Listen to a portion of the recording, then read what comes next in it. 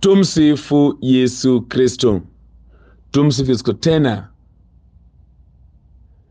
Nashukuru Mungu kwa Jumapili ya leo, kwa baraka na kwa ulinzi ambao ametujalia. Natumaini umeshiriki katika misa takatifu katika parokia zenu na mahali pote ambapo mnashiriki misa. Mungu aendelee tu kuwabariki, Mungu aendelee kuwalinda, Mungu aendelee kuwakinga na mabaya yote shetani.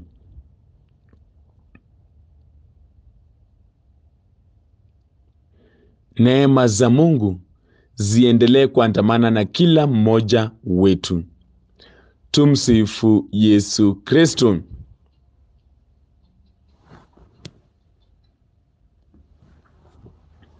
Jumapili ya leo tunapata somo kutoka Samueli wa kwanza sura ni ya kumi na tisa.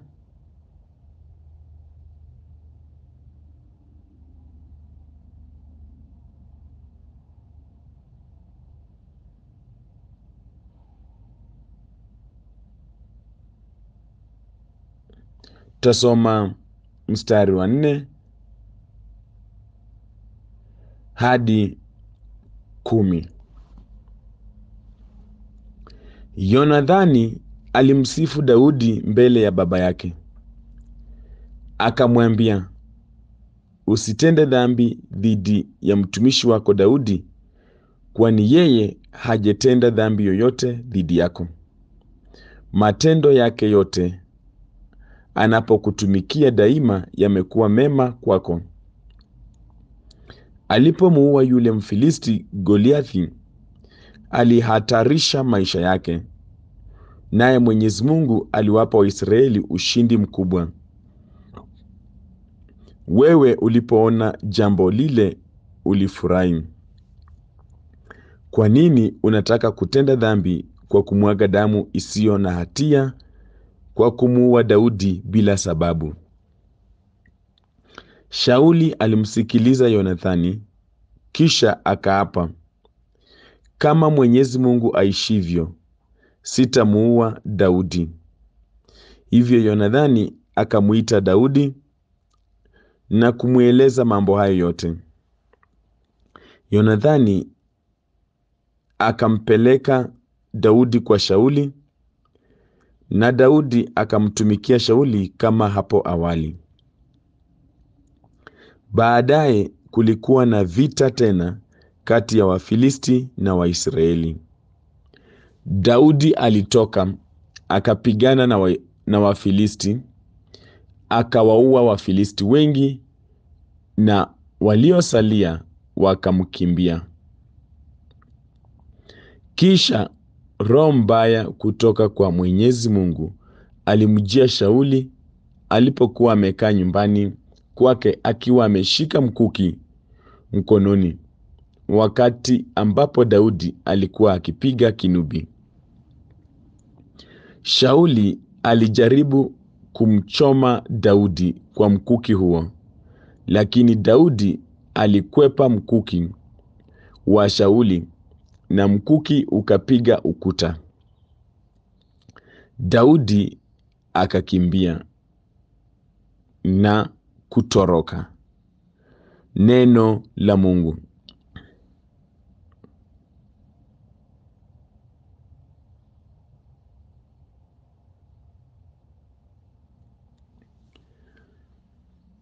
Tumsifu Yesu Kristo. Tumsifu Yesu tena. Mikuki yao na ikapige ukuta. Mikuki yao na ikapige ukuta. Yaani yote ambayo wanaturushia, aina yote ya mashambulizi ambayo wanaituma kwetu ikamis na ikagonge ukuta, na sisi, mimi na wewe tukawe salama, tukawe salama. Tumsifu Yesu Kristo. Mikuki yao na ikapige ukuta. Wanaturushia mikuki mingi, wanatufanyia vitu vingi ambavyo sio vizuri, lakini kwa tokana na somo la leo, yote ambayo wanaturushia, yote ambayo inatulenga mimi na wewe, inatulenga sisi, na ikapige ukuta, isije ikatufikia hata kidogo. Tumsifu Yesu Kristo. ikapige nini? Ukuta.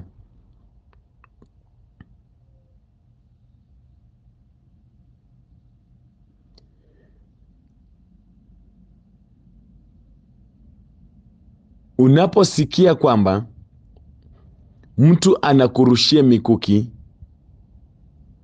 mtu anakulenga kwa mkuki akuue, akudhuru, akuumize, inamaanisha kwamba huyo mtu hayuko mbali na wewe.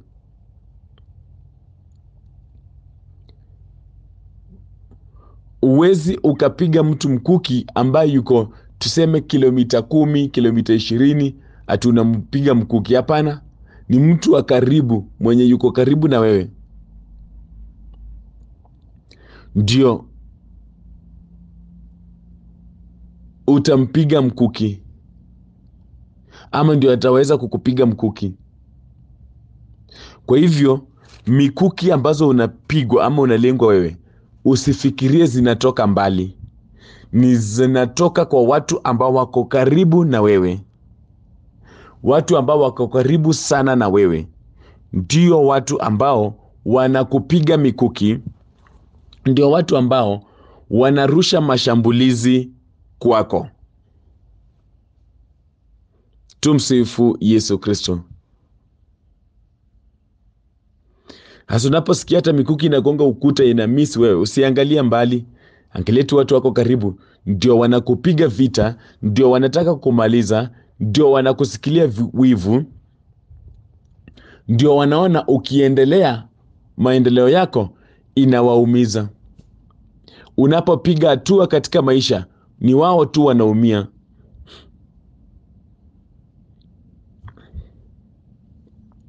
Ni wao wanasumbuliwa na maendeleo yako.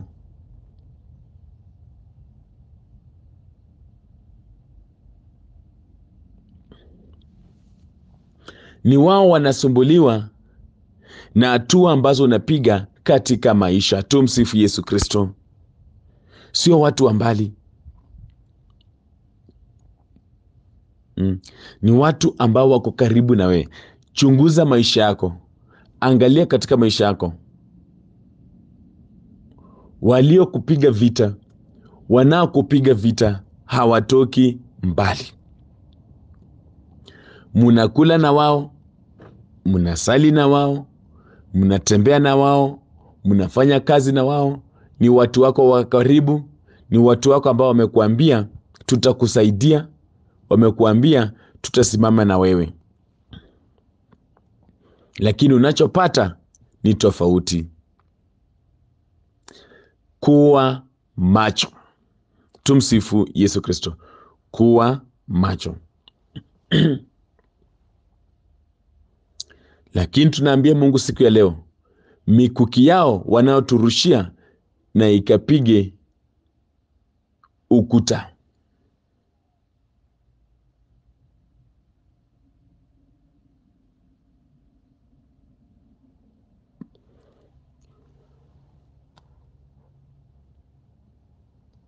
Na sisi tuwe salama.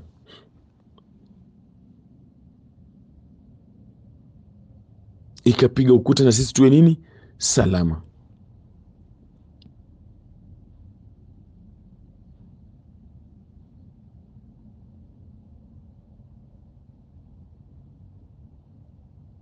Hmm. Wanataka kutunyamazisha kisirisiri. Kuna vitu ambazo wanafanya nyuma yetu za kutuzima, lakini kwa sababu tunamtumikia Mungu, kwa sababu tumeweka imani yetu kwake Mwenyezi Mungu, yote wanayofanya kwetu haitatushika.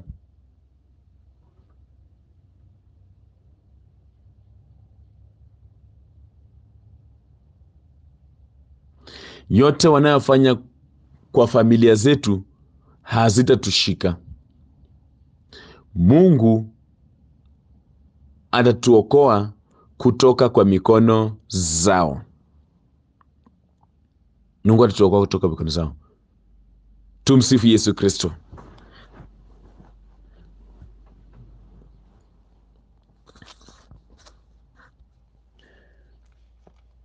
Kwenye somo letu la leo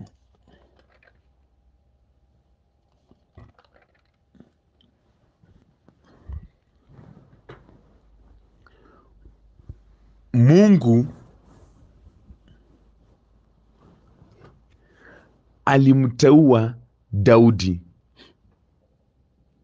Ukisoma, ukisoma Samueli wa kwanza sura kumi na sita kuanzia mstari wa kwanza inasema hivi: Mwenyezi Mungu akamwambia Samueli, eh, Samueli, utamlilia Shauli mpaka lini? Wewe unajua kuwa mimi nimemkataa kuwa mfalme juu ya Israeli. Sasa jaza upembe wako mafuta uondoke, nitakutuma kwa Yese wa mji wa Bethlehemu, maana nimejipatia mfalme miongoni mwa wanawe. Tumsifu Yesu Kristo, kwamba Mungu ashamkataa nani? Shauli, ile hali Samueli bado anamlilia e, Shauli kwa Mungu, nasema hapana, achana, nimemkataa na nimejiteulia, nimejipatia mfalme miongoni mwa watoto wa nani? Wa Yese.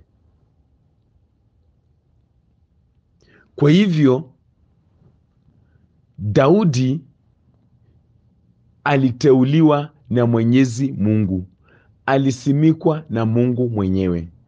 Kwa vile Mungu mwenyewe alimchagua na kumsimika, mwenyewe atamlinda, mwenyewe atamfungulia njia, na amemteua na sababu fulani. Anajua anataka afanye hivi na vile. Kuna huduma ambayo Mungu anataka Daudi akamfanyie. Ameteuliwa na nani? Na Mungu mwenyewe. Tumsifu Yesu Kristo. Hata mimi na wewe, hata sisi wote ambao tunasikiliza somo, kuna nafasi ambazo Mungu anataka tushike katika jamii, katika kazi yake. Kuna vile Mungu anataka tumtumikie. Ndio maana akakuchagua mimi na wewe, akatuchagua. Ame, uteuzi wetu ulitoka kwa Mungu. Sasa mwanadamu hawezi akaupinga. Amina, mwanadamu hawezi akaupinga. Mungu akisha sema amesema, mwanadamu hawezi akafanya nini? Akaupinga.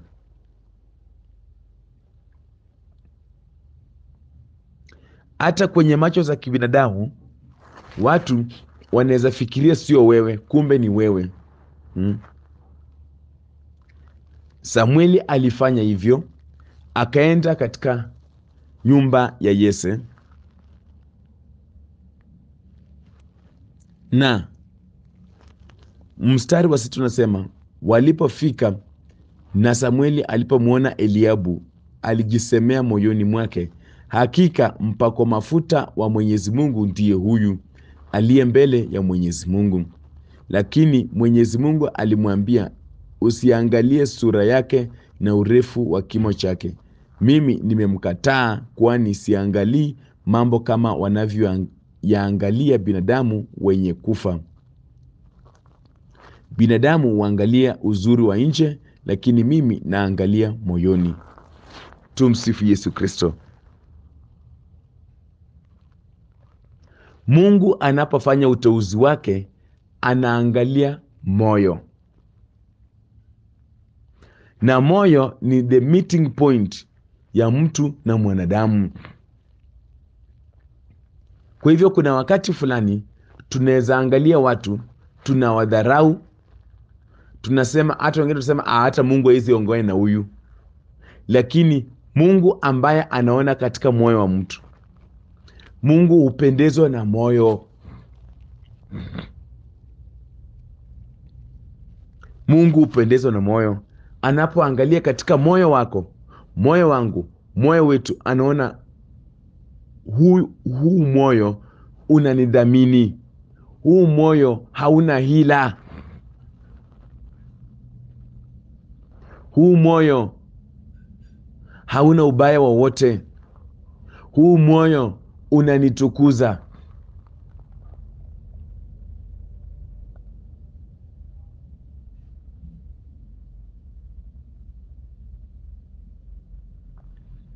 Hmm.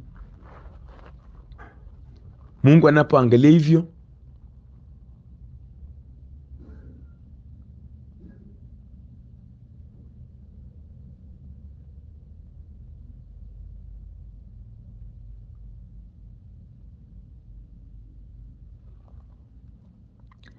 anapoangalia hivyo katika moyo, unapata ameteua mtu. Ndio maana Mungu anatusurprise kila wakati. Kuna watu ambao tulifikiria ndio hawa. samuel alifikiria Eliabu ndio huyu, kwa sababu aliangalia nje. Pengine moyo wake ulikuwa na hila, moyo wake ulikuwa na uchafu, moyo wake haukuwa unamtukuza Mungu. Mungu akasema hapana. Wale watoto wengine wote walikuja pia, Mungu akakataa.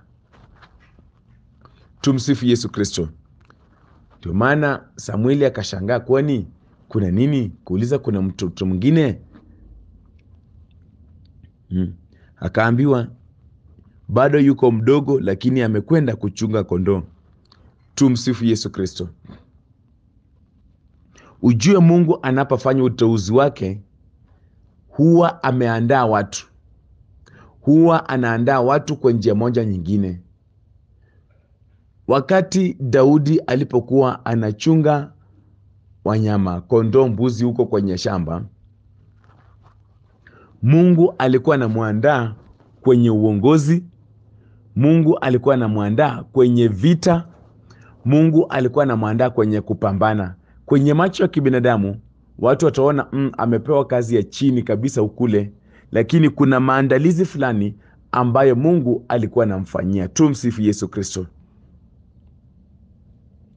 Kuna maandalizi fulani ambayo Mungu alikuwa anamfanyia ya kupambana, ya kupigana na ya kuwa mtu shupavu. Kwa hivyo hiyo nafasi ambayo Mungu amekupa, hiyo kazi ambayo Mungu amekupa, itumie vizuri. Inakuandaa kwa mambo mengine makubwa mazuri.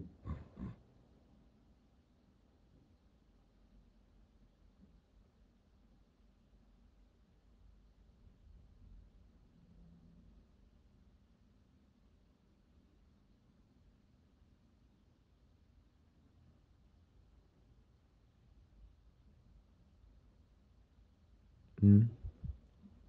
Inakuandaa kwa mambo makubwa mazuri.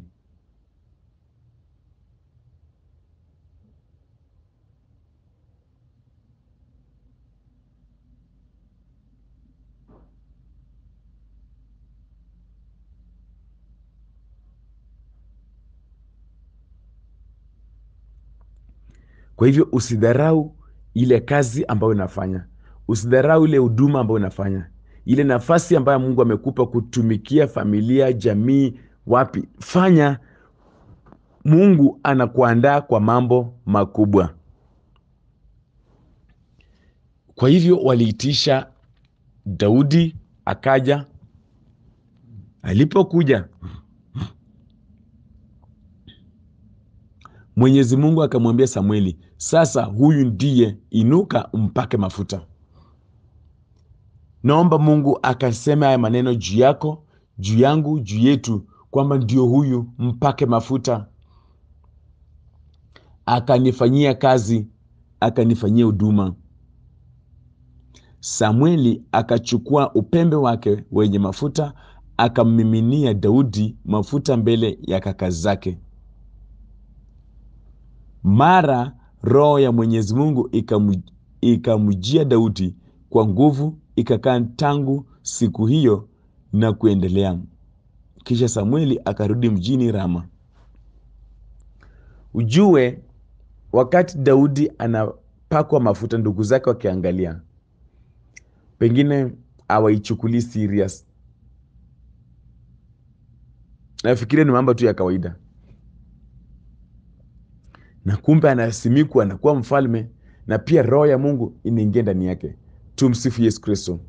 Ujue Mungu anapoteua mtu amfanyie kazi ni yani, hiyo kazi ambayo huyo mtu anafanya ni Mungu mwenyewe anafanya, lakini anafanya kupitia kwake. Ndio maana roho wake Mwenyezi Mungu aliingia na kukaa ndani ya Daudi kuanzia saa hizo na kuendelea. Tumsifu Yesu Kristo. Sasa watu kama hawa unapopambana na wao, unapowapiga vita, unapowashambulia, jua kwamba unapambana na Mwenyezi Mungu.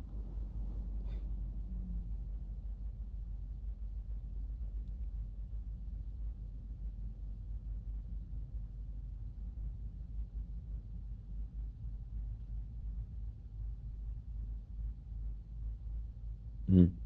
Jua kwamba unapambana nani? Na Mwenyezi Mungu. Na unapopambana na Mwenyezi Mungu,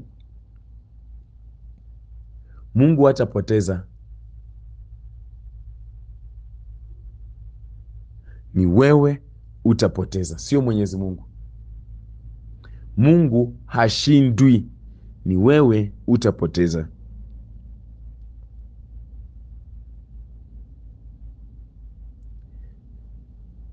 Kwa hivyo Daudi alisimikwa kwa sababu fulani.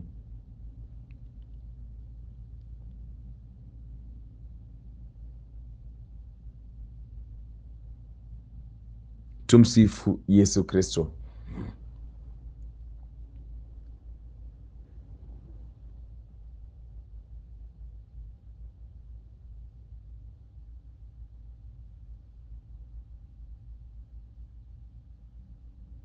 Tumsifu Yesu Kristo. Ukisoma ile kumi na e, Samueli wa kwanza kumi na sita mstari wa kumi na nne inasema baadaye roho ya Mwenyezi Mungu ilimwacha Shauli na roho mwovu kutoka kwa Mwenyezi Mungu ikamsumbua.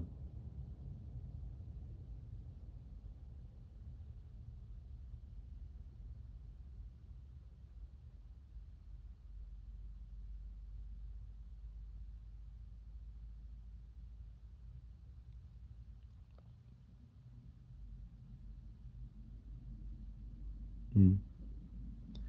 Tumsifu Yesu Kristo. Shauli, kumbuka, Mungu amemkataa, roho wa Mwenyezi Mungu amemwacha. Hmm. Ujue kuna watu ambao ni wako ni tupu. Unajua, kama huna roho wa Mwenyezi Mungu inamaanisha uko na roho wa shetani, unaweza uko tayari kwenye maovu yoyote, na pia ushindi hauwezi kuwa upande wako, kwa sababu Mungu ni mshindi. Na kama sasa huna roho wa Mungu utashinda aje?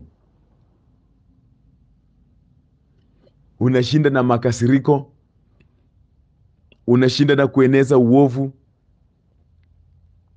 kueneza mambo mabaya, kwa sababu roho wa Mungu amekuacha. Kuna watu wengi hapo ulimwenguni roho wa Mungu aliwaacha kitambo, wanatumia kimwili, hata kama ni huduma wanatumia kimwili. Ndio maana watu kama hao wanaenda sijui wapi, wapate nguvu gani? Ndio wa, wanataka waendelee kufanya vitu ambazo walikuwa walikuwa wanafanya, lakini wamesahau kwamba roho wa Mungu aliwaacha kitambo, wako bure. Tuna, tunashangaa vitendo zao, tunashangaa maneno zao, tunashangaa mienendo zao hmm. Hawako jinsi walivyokuwa mwanzoni. Roho wa Mungu aliwaacha kitambo kabisa.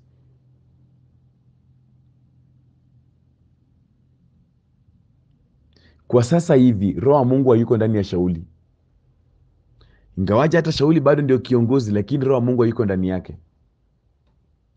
Yuko ndani ya nani? Ya Daudi, na Daudi ameshapakwa manini? Mafuta, ameshasimikwa ameshasimikwa. Tuweke kwenye akili zetu kwamba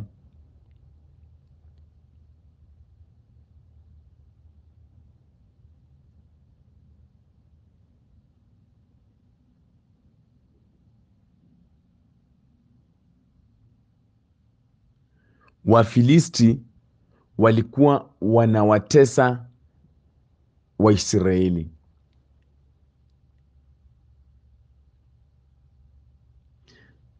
Na Wafilisti walikuwa na Goliathi ambaye kweli nguvu alizokuwa nazo ni na nini, kila wakati walikuwa wanawatesa na kuwashambulia watu wa Shauli wa Israeli.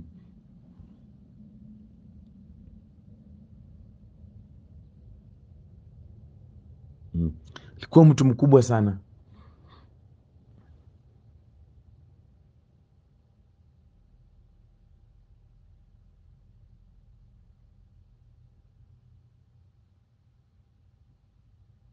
Hmm. Na Goliathi alikuwa anaongea kimadharau sana mbele ya Waisraeli, mbele ya Shauli. Hmm.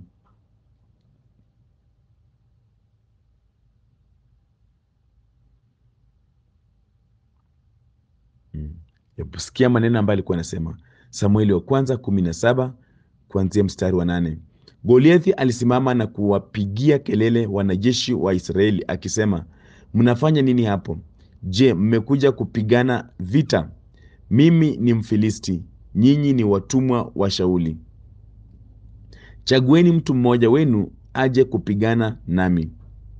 Akinishinda na kuniua, sisi tutakuwa watumwa wenu, lakini nikimshinda na kumuua, basi nyinyi mtakuwa watumwa wetu na kututumikia. Kisha Mfilisti huyo aliendelea kusema kwa majivuno, nawataka wanajeshi wa Israeli siku hii kumtoa mtu mmoja aje kupigana nami. Shauli pamoja na wanajeshi wote wa Israeli walipoyasikia maneno hayo ya Mfilisti huyo, walifadhaika na kuogopa sana.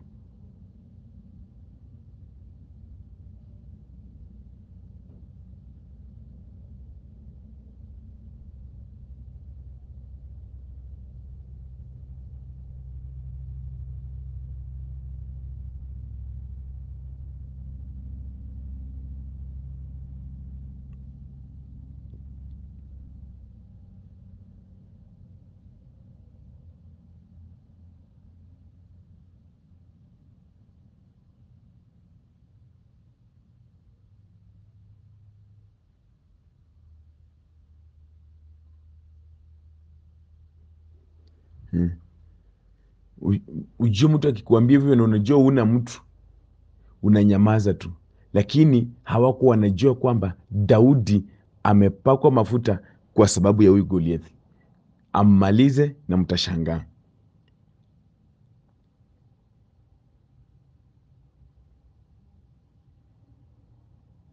Hmm. Inashangaa. Ujue kuna vile watu wanafikirianga tu, hauna mtu, hauna kitu, watakutukana, watakutusi, watakufanyia chochote. Hawajui mpango wa Mungu, hawajui Mungu amesimama na mipango gani juu ya maisha yako. Hawajui kuna ratiba fulani Mungu anataka kuisimamisha, kuiweka ili ma abadilishe mambo hawajui.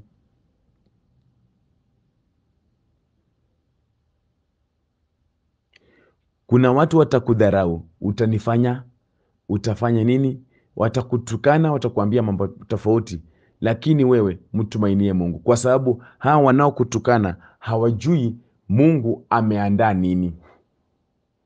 Wao wanaangalia nguvu zao za hapa hapa, lakini wewe uko na muunganiko wa nguvu za juu wa Mwenyezi Mungu na Mwenyezi Mungu. Na kama umeunganika hivyo na Mwenyezi Mungu, basi Mungu atakutetea.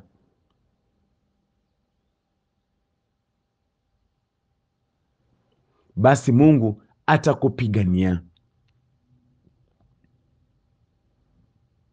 Sasa siku moja Daudi alisikia maneno kila kitu, hata vile Shauli alikuwa ameapa kwamba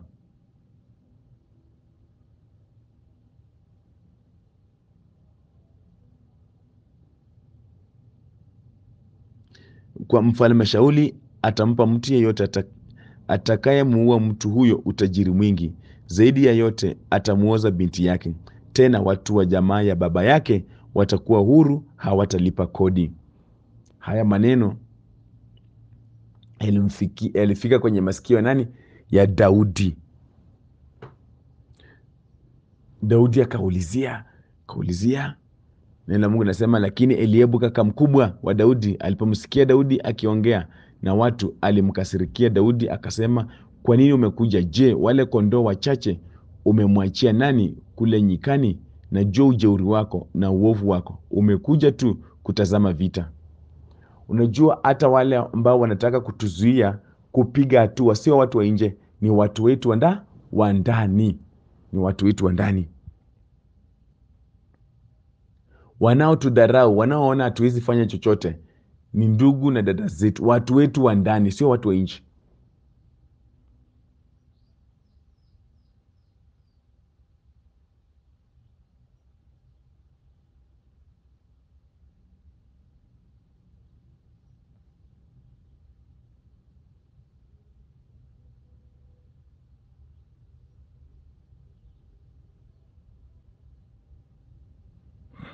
Hmm. Watu wetu wa ndani hmm. Wanaotudharau, wanaotufanyia vitu vibaya. Tumsifu Yesu Kristo.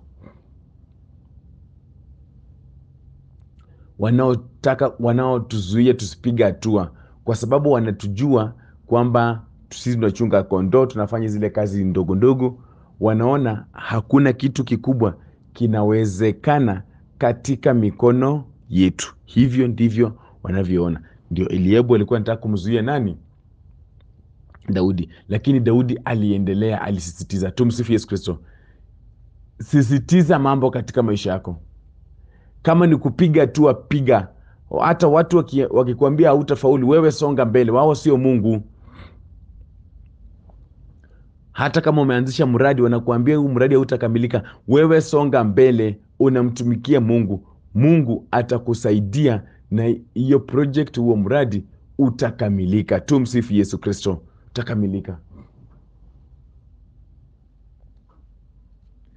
Usikalishwe chini na maneno za watu, wasikukatisha tamaa, wasikufanye ufikirie kwamba ukifanya hautafaulu. Wewe songa mbele. Wao sio Mungu, wao sio Mungu. Tumsifu Yesu Kristo. Ikafika siku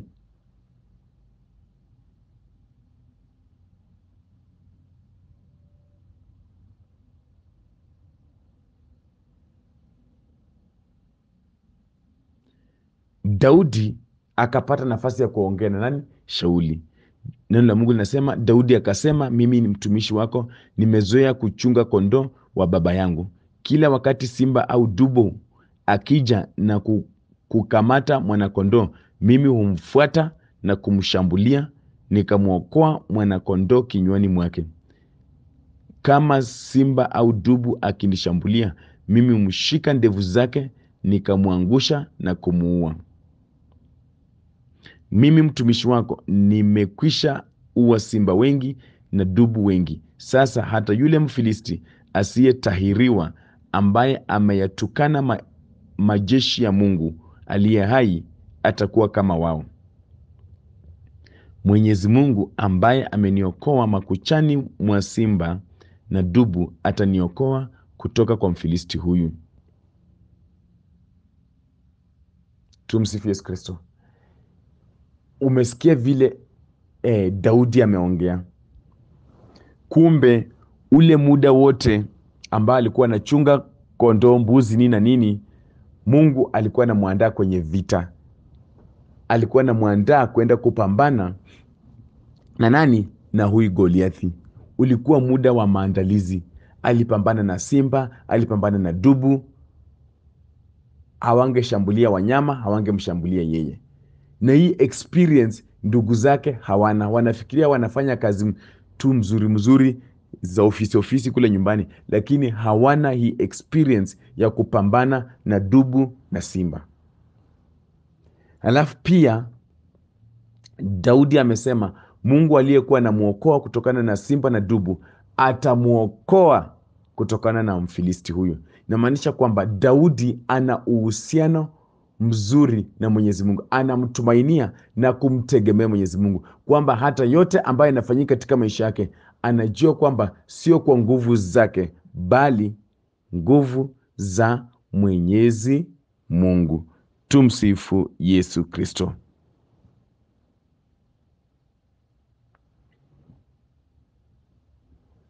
Hmm, bali nguvu za Mwenyezi Mungu.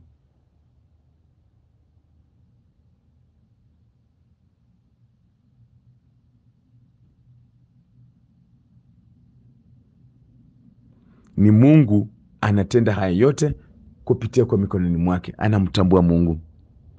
Nini ilifanyika? Shauli Shauli Shauli akamwambia nenda naye Mwenyezi Mungu awe pamoja nawe. Shauli akamvisha Daudi mavazi yake ya kivita, akamvika kofia yake ya shaba kichwani na koti lake la kujikinga kifua.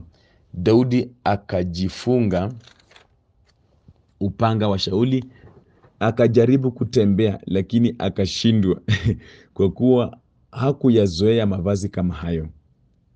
Akamwambia Shauli, siwezi kuenda vitani nikiwa nimevaa mavazi haya, kwani mimi sijayazoea. Hmm.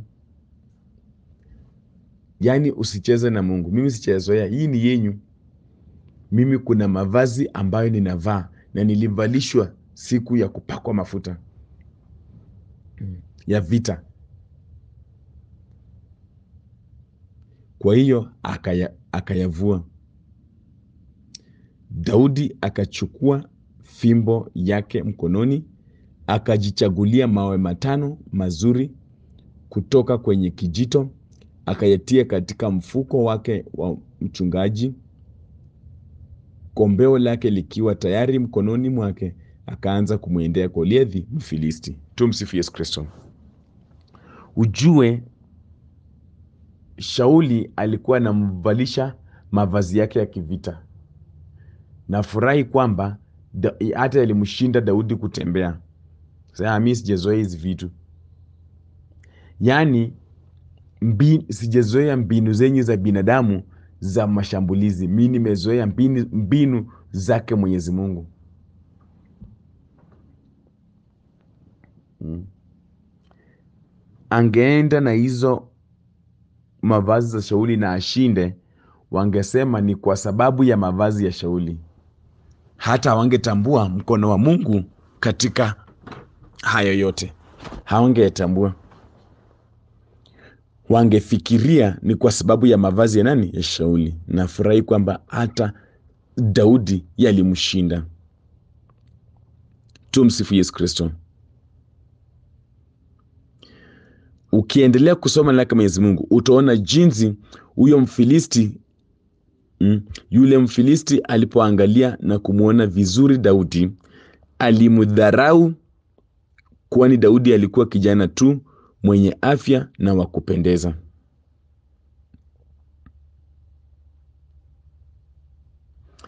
Tumsifu Yesu Kristo. Ujue mi naona contradiction hapa anasema yule Mfilisti alipoangalia na kumwona vizuri Daudi alimdharau, kwani Daudi alikuwa kijana tu. mm -hmm. Sawa. mwenye afya na wakupendeza. Sasa mtu akiwa mwenye afya na wakupendeza, unamdharau waje? mm. Goliathi akamuuliza Daudi, sasa hiyo fimbo ni ya nini? Unadhani mimi ni mbwa hata unijie kwa fimbo? Mfilisti huyo akamlaani Daudi kwa miungu yake. Tumsifu Yesu Kristo. Ujue kwenye mapambano, watu tunapopambana nao huwa wanatulaani kwa miungu zao, wako na miungu zao.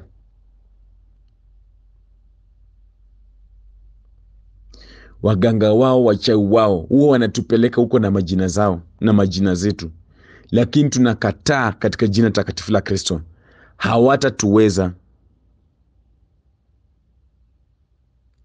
Mm. Hatatuweza.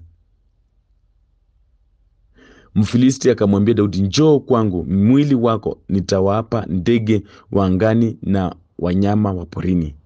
Lakini Daudi akamwambia Goliathi, wewe unanijia kwa upanga, mkuki na sime, lakini mimi ninakukujia kwa jina la Mwenyezi Mungu wa majeshi, Mungu wa askari wa Israeli, ambaye wewe umemtukana. Tumsifu Yesu Kristo. Vita vyetu vyote tunapoenda kwenye vita tunaenda kwa jina la Mwenyezi Mungu. Na pia wakina Goliathi wajue kwamba wanapotutukana hawatutukani sisi. Goliathi alikuwa anatukana Daudi nini na nini lakini Daudi anamwambia Mungu wa askari wa Israeli ambaye wewe umemtukana. Kumbe kwa kututukana sisi unamtukana nani? Mwenyezi Mungu.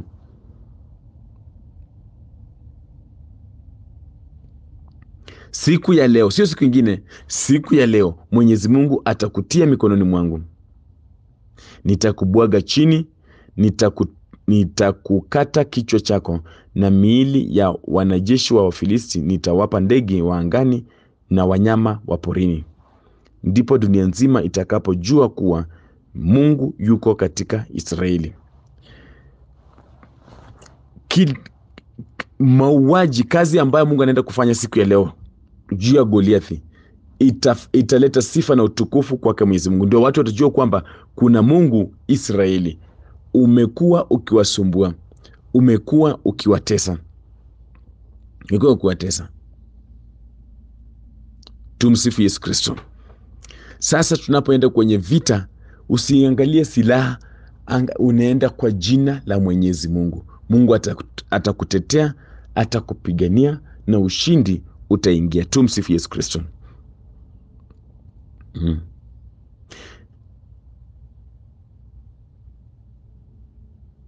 Goliathi akaanza tena kumwendea Daudi. Daudi akakimbia mbio kwenda kwenye mstari wa mapambano, akatia mkono wake mfukoni mwake, akatoa jiwe moja, akalirusha kwa kombeo lake, akampiga nalo Goliathi kwenye paji la uso wake. Jiwe likalipasua paji la Goliathi na kupenya ndani. Goliathi akaanguka chini kifudifudi. Ehe, madharau yataisha. Alimtukana, alimdharau, alijua ataweza. Kumbukeni, mwanzo alikuwa anasema kama kuna mtu yoyote ajitokeze. Saizi ako chini. Aina yote ya Goliathi wanaokutesa, aina yote ya Goliathi ambao walikuwa na jidai kwamba fanya chenye unataka, tunawaeka chini katika jina takatifu la Kristo. Wasiwe na mamlaka yote juu yetu, tunawaangusha. Goliathi wa madeni, Goliathi wa magonjwa, wa mapepo, wa nguvu za giza, vitu za kishetani, wivu, kila kitu tunamweka chini. Dharau litaisha. Amen, dharau litaisha. Ndivyo Daudi alivyomshinda Goliathi kwa kombeo lake na jiwe. Alimpiga yule Mfilisti na kumuua. Daudi hakuwa na upanga wowote mkononi mwake, basi akaenda mbio, akasimama juu ya Goliathi, akaufuta upanga wa Goliathi alani mwake, akamuua Goliathi kwa kumkata kichwa chake. Yaani silaha ambazo wanakuja nazo kwetu ndio tutatumia kukata vichwa zao. Ukisikia mtu amekukata kichwa, amekumaliza kabisa.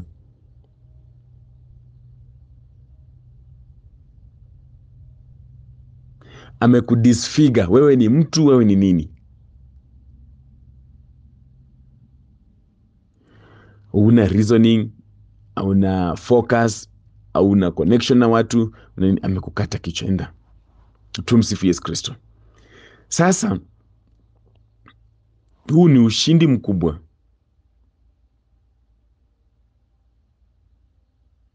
Ambao daudi ameleta.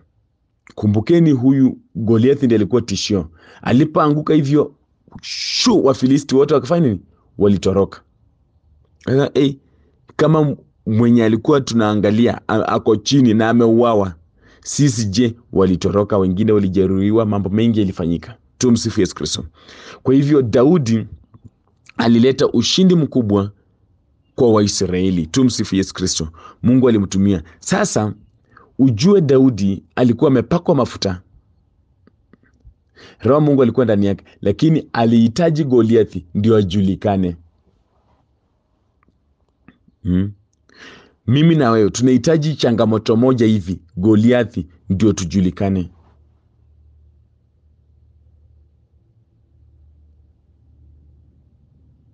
Tunahitaji. Ndio watu wajue uko. Ndio ulimwengu ujue uko ndio ulimwengu jio mungu amekuteua kwa huduma fulani. Tumsifu yesu kristo. Sasa walipokuwa wanarudi nyumbani sasa sikiza mawivu. Samueli wa kwanza 18 kuanzia mstari wa sita. Askari walipokuwa wanarudi nyumbani pamoja na daudi baada ya kumuua yule mfilisti. Wanawake kutoka kila mji katika israeli walitoka kwenda kumlaki mfalme shauli wanawake nao walikuwa wanaimba nyimbo za furaha wakipiga matari na vinubi. Pia walikuwa wanacheza na kuimba nyimbo za kuitikiana hivi. Shauli ameua maelfu yake na daudi ameua makumi elfu yake. Shauli hakupendezwa na maneno ya wimbo huo. Hivyo akakasirika sana akasema wamempa daudi makumi elfu lakini mimi wamenipa maelfu tu. Lililobakia ni kumpa daudi ufalme. Tangu siku hiyo shauli akawa anamwonea kijicho daudi. Tumsifu yesu kristo. Ujue kuna vitu vingi ambavyo mungu anatenda mikononi mwetu na anapotenda vitu kama hizo katika mikononi mwetu ni vitu za kumtukuza mwenyezi mungu. Lakini kwa sababu mungu hakuvitenda kupitia mikono za kina shauli kupitia mikono za watu wengine ambao tuko nao ambao wamekuweko. Nini hufanyika? Watu wanaingiwa na wivu watu wanaingiwa na chuki wanatuonea kijicho wanatusikilia vibaya. Na watu kama hawa wanaweza wakakufanya lolote. Tumsifu yesu kristo kuna vitu ambavyo kwenye ofisi yako au mahali unafanya kazi mwenye alikuwa au mwenye yuko hajaifanya lakini wewe junior unajitokeza unafanya na zinafaulu vizuri kabisa na kuambia watakuonea wivu watakutafuta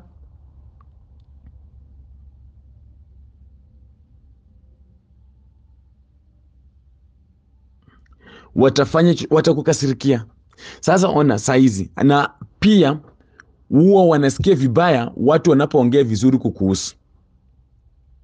Watu wanaposema gei hapa mahali pamebadilika. Watu wanaposema gei hiyo huduma hiyo ilikuwa kubwa. Watu wanapoongea chochote kizuri kuhusu kile ambacho mungu ametenda katika mkononi mwako na kuambia watakukasirikia na kuhakikishia kwamba watakuonea wivu watapanga kukumaliza.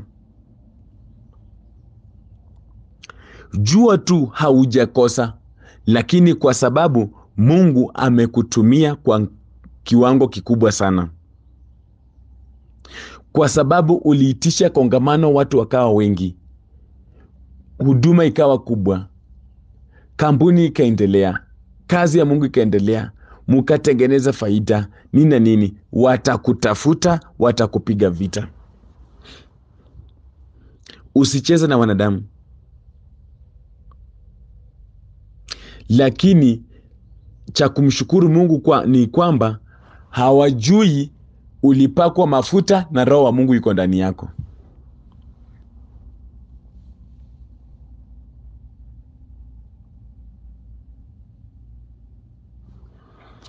Usicheze na mtu ambaye amepakwa mafuta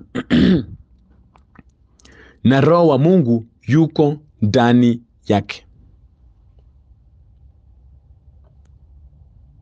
Usicheze naye kwa sababu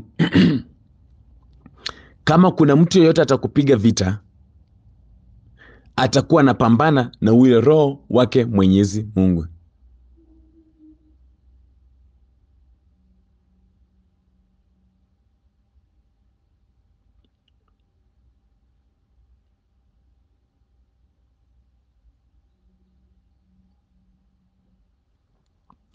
Ni unapopambana na Roho wake Mwenyezi Mungu,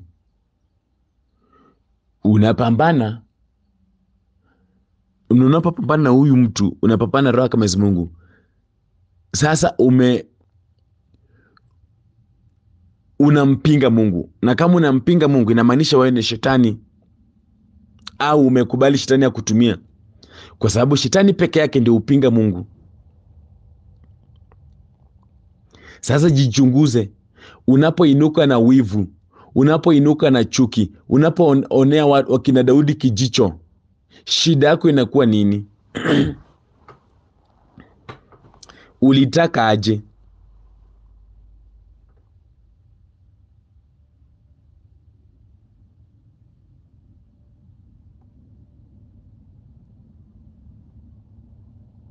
Mm.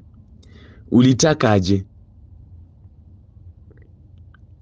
Kwanza tumsifu Yesu Kristo. Mimi kwa akili zangu nataka, ningependa Shauli afurahie kwa sababu Daudi ameua Goliathi ambaye alikuwa tishio kwake, lakini afurahie. Namaanisha hata tukisaidia watu, hata tukitendea watu mambo mazuri, hawatafurahia.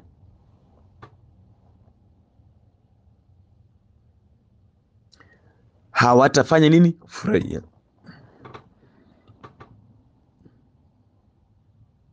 Tumsifu Yesu Kristo.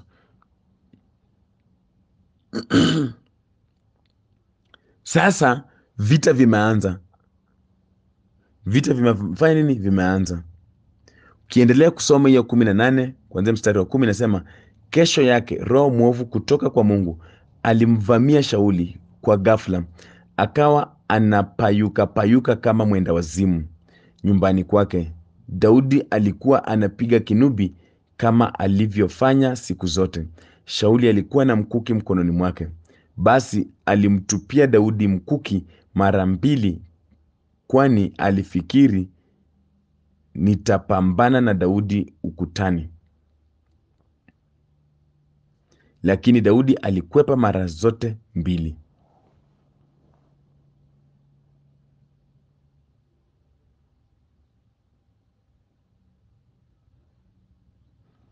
Tumsifu Yesu Kristo. Sasa Shauli ameanza roho mwovu. Usicheze na watu ambao roho mwovu ako ndani yao, wanaweza wakakufanyia chochote. Sasa ona, amerusha mkuki mara mbili, anataka ampini kwa ukuta na ni, lakini tukumbuke nini? Wakati Daudi anapiga kinubi, yeye anamsifu Mungu. Yaani Daudi kila wakati alikuwa anatumia muda wake kumsifu Mwenyezi Mungu. Jamani, kila wakati unapokaa kwenye sifa, hata mashambulizi ya mikuki inapokuja haikufikii.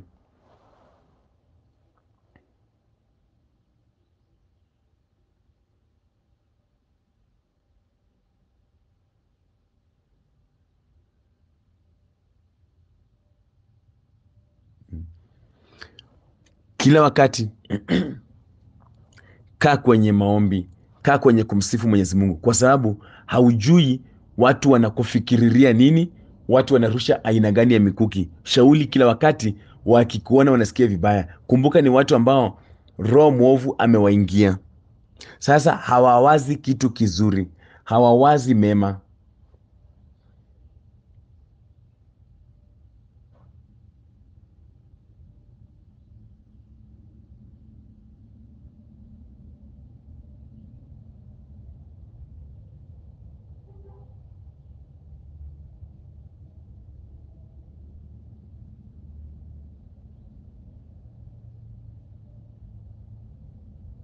Mm. Hawawazi mema hata kidogo. Hawawazi mema hata kidogo. Lakini kiendelea kusoma mstari wa kumi na mbili, Shauli alikuwa anamwogopa Daudi kwa kuwa Mwenyezi Mungu alikuwa pamoja naye, lakini Mwenyezi Mungu alikuwa anamwacha Shauli.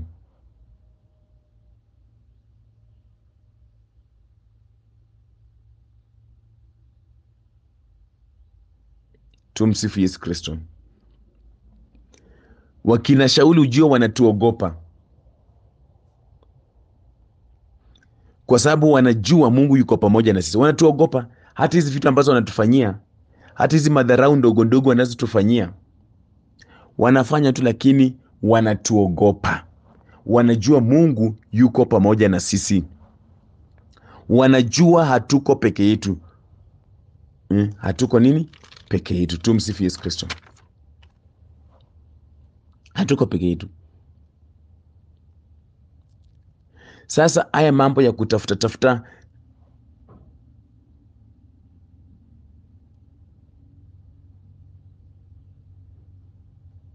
mm.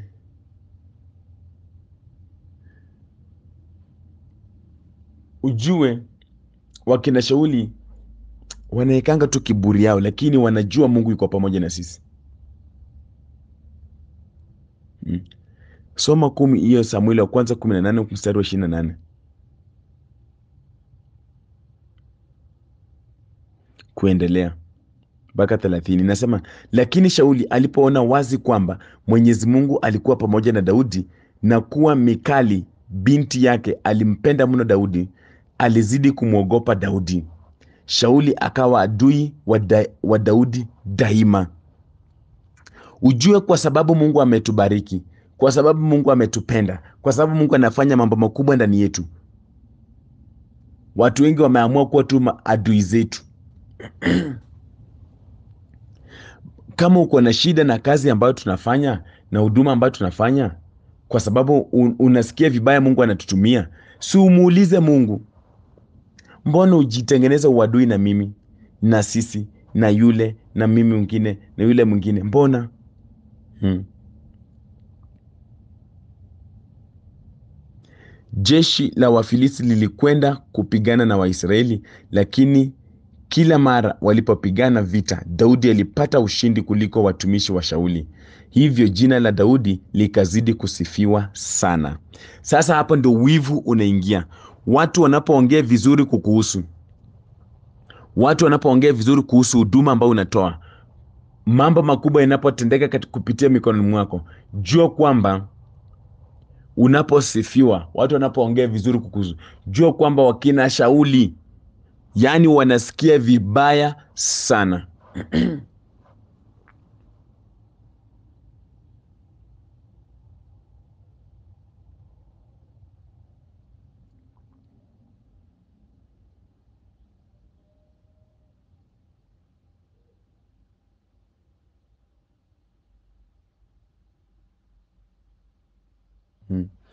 Jua kwamba wanasikia vibaya sana. Tumsifu Yesu Kristo. Wanasikia vibaya sana. Kwani ulikuwa nafikiria tunapofanya kazi ya Mungu itashindwa? Haitashindwa. Kazi ya Mungu lazima iendelee nini? Mbele, lazima iendelee mbele. Sasa tumsifu Yesu Kristo. Ndio maana unaposikia kwa mfano huduma inapopanda juu, inapoendelea kuwa kubwa, maadui wanaongezeka. Mungu anapokutumia kwa kiwango kikubwa, maadui huongezeka.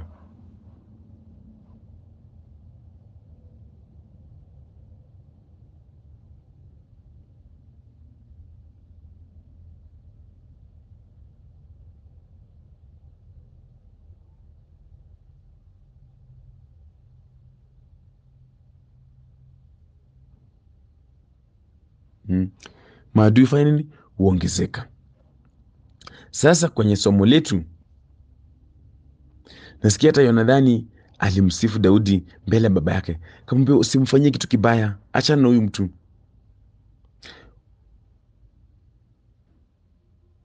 Ni, alitoka kwa mungu. Mungu ndiye alipeana kwa ajili ya kusaidia waisraeli.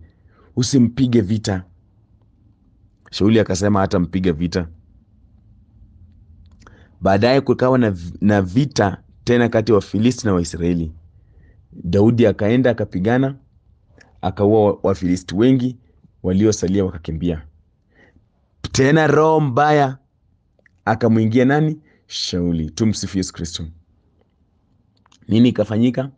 Shauli alipokuwa amekaa nyumbani kwake akiwa ameshika mkuki mkononi wakati ambapo daudi alikuwa akipiga kinubi ujio wakina shauli kazi yao tu ni vita. Kila wakati wako kwenye vita. Wameshika mikuki mikuki ni ishara ya vita mikononi ishara ya kupambana ishara ya vitu ya fujo tu. Wakati ambapo daudi alikuwa akipiga kinubi. Tumsifu yesu kristo. Tukumbuke kwamba kila wakati daudi alikuwa anasali daudi alikuwa na msifu mungu niliwaambia kuna nguvu katika sifa.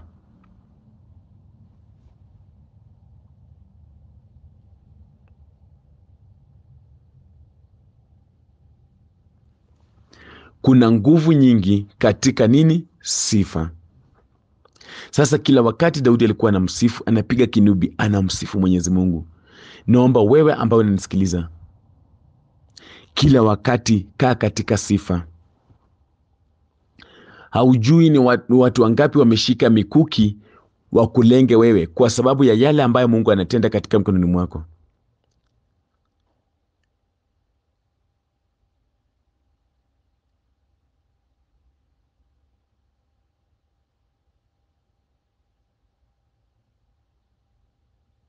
Haujui. Kuna watu wengi ambao wameshika mikuki katika mikono wanangoja tu nafasi. Sasa ukiwa unadumu kwenye kumsifu mwenyezi mungu mungu mwenyewe atakuepusha na mikuki zao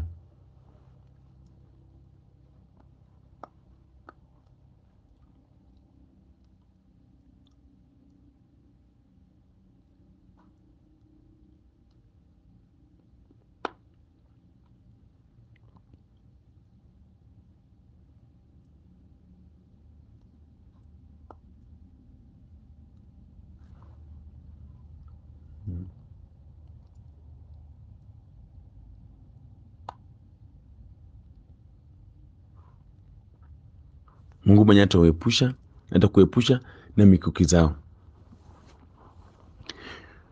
Wewe shikilia sifa shikilia sala na usiogope kwa sababu sio wao waliokupaka mafuta ni mungu. Sio wao waliokuteua ni mungu.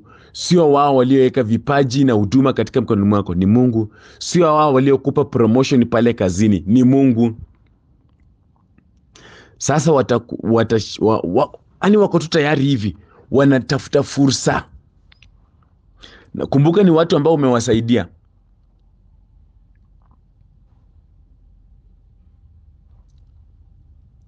Ni watu ambao umewasaidia na umewasaidia vizuri sana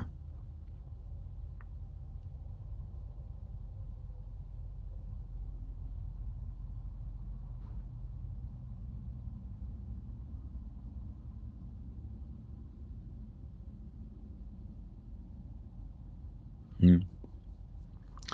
Ni watu ambao umewasaidia na umewasaidia vizuri sana. Wameshika mikuki. Sasa we unapoendelea na huduma zako ujui chenye wanakupangia. Mtu ambaye ameshika mkuki kwa mkono ni hatari. Anaweza kumaliza wakati wowote. Na wako kwenye chumba kimoja.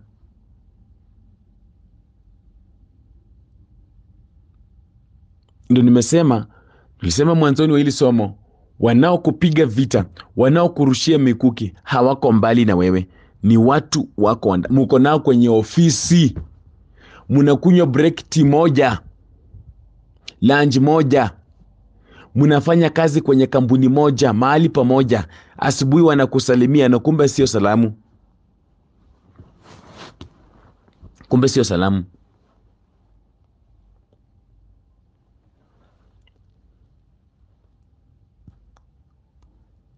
hmm? asubuhi wanakusalimia kumbe sio nini? Salamu.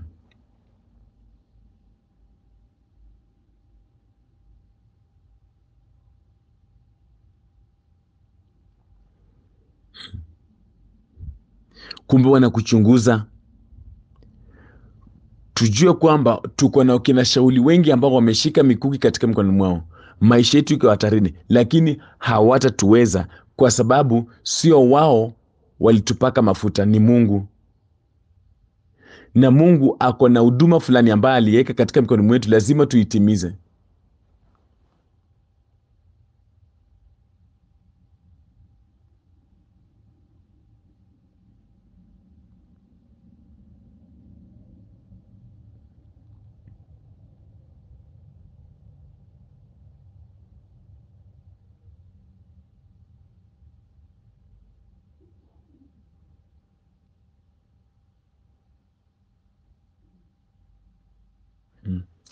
lazima tuifanye nini?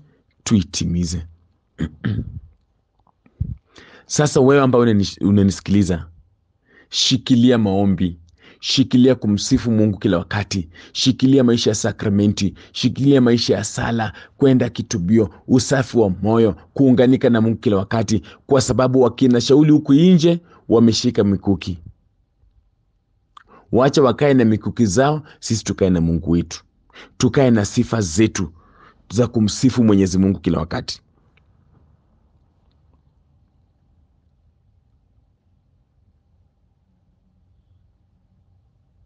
Mm. tusiwaangalie wao. Kumbuka nimewambia ni watu ambao tumesaidia lakini watatugeuka. Hawataki wasikie umepata kitu. Hawataki wasikie watu kuongelea vizuri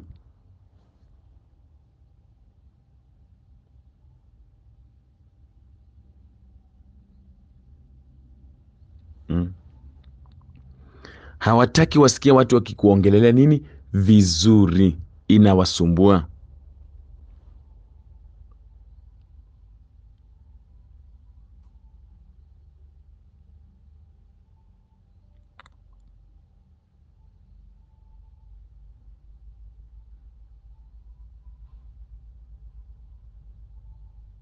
Inawauma wanasikia vibaya kwamba unapiga hatua. Sasa shauli alijaribu kumchoma daudi kwa mkuki. Lakini daudi aliukwepa mkuki wa shauli na mkuki ukapiga ukuta. Ndio nimesema mikuki yote wanaoturushia na ikapiga ukuta daudi akakimbia na kutoroka. Tumsifu yesu kristo. Mungu hatakubali tuuawe kwa mikono zao. Hatakubali.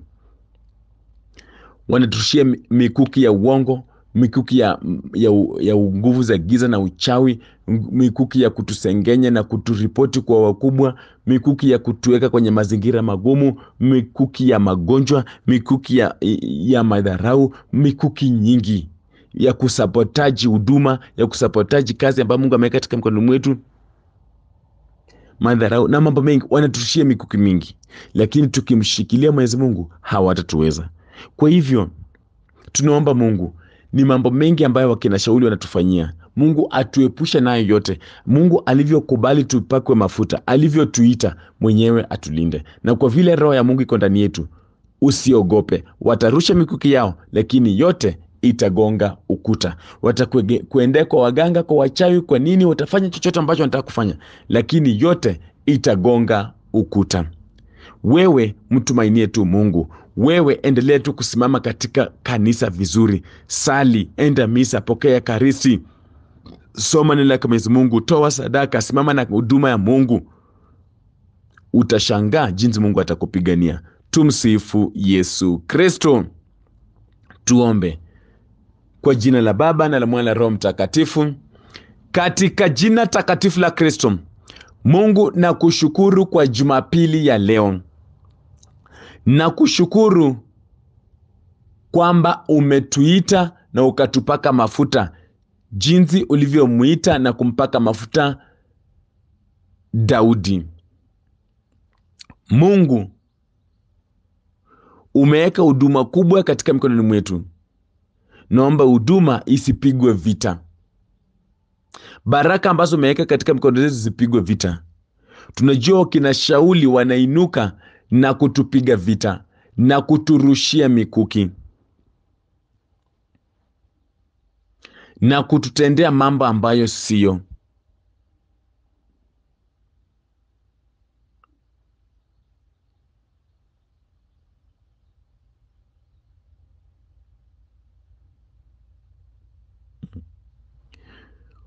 Wanataka kutuzima, wanataka kutuua.